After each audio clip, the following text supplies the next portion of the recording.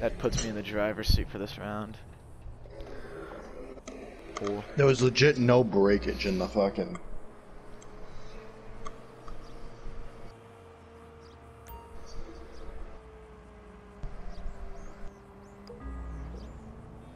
what the fuck? Uh, uh. Let's go. what?